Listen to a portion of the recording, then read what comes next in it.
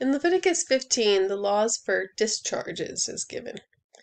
People are pronounced unclean for having a discharge. There are regular discharges that people have, such as a woman having her monthly period. She's unclean for a week, but that doesn't mean she's in sin. When it's over, she's clean. When husband and wife lie together, they are unclean. It's completely biblical. They are not in sin at all. With a wash, they are pronounced clean that evening. However, there are different rules for other discharges. When someone was pronounced cleansed of leprosy, there was a shedding of blood. Here we see it too. You can think, in reading this chapter, of the woman in the New Testament with the issue of blood. She bled all the time and it didn't stop. If it stopped, she would have taken birds to the priest for a sin offering and a burnt offering so that the priest could make atonement for her. It's in places like this that we see the equaling of sin and sickness. Of course, we saw it in Moses' pronouncement of the blessings and the curses. When the paralyzed man was brought before Jesus, Jesus forgave his sins. Job's friends assumed Job must have sinned to have deserved such a punishment.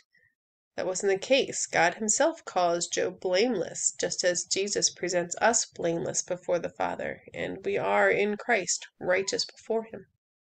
That said, I do believe there was sin in Job's case.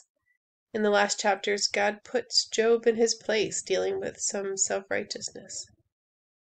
None of us are purely like Jesus yet. He was without sin, so if we aren't like him, then we still have sin to deal with.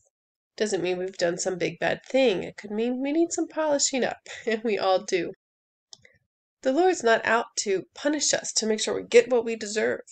He's out to refine us. He wants us clean from sin so we can dwell with Him. He wants to be with us. The warning in this chapter is to keep separate from the uncleanness so they don't die in their uncleanness by defiling my tabernacle that is in their midst.